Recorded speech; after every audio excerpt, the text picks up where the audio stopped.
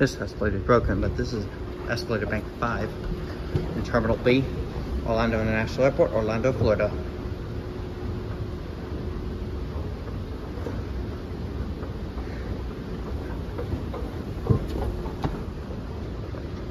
There's a level one escalator, but we're gonna go up the express one.